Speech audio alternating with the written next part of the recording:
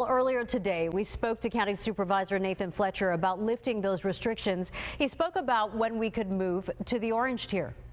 As we do more vaccines, we're going to continue to be able to accept higher cases.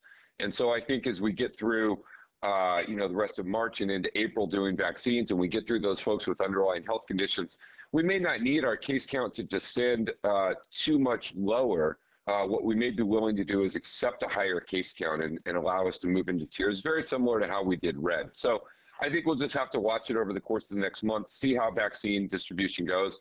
Uh, but stimulus funds are out, folks are getting help, folks are getting reopened. Baseball's coming back. Uh, I know I got an email. My, my kids are going to be able to go back to school in April, and uh, and so I think I think we're feeling good about where we are.